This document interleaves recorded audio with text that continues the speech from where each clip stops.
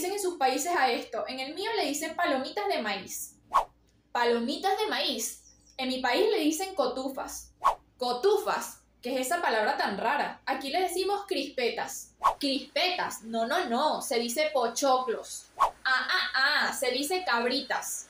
Ey, no es cabritas, es canchitas. Pero bueno, ¿y qué son esas palabras tan raras? Se le dice pororó.